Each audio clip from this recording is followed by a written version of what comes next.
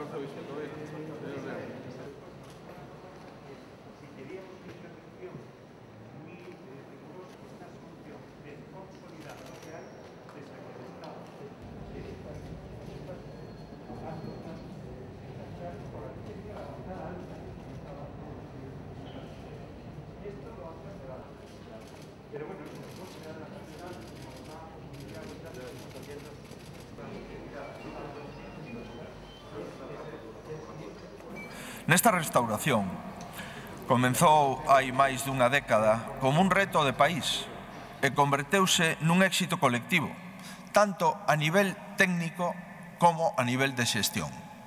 A vista está que se trata dun, éxito, de un éxito técnico, grazas ao traballo dos profesionais que traballaron durante todos estes anos.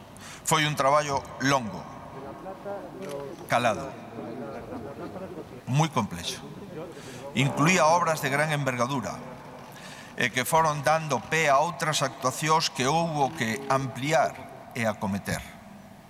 En fin, é o resultado dun esforzo constante, diario e colectivo que constitúe unha das maiores actuacións realizadas no patrimonio mundial das últimas décadas.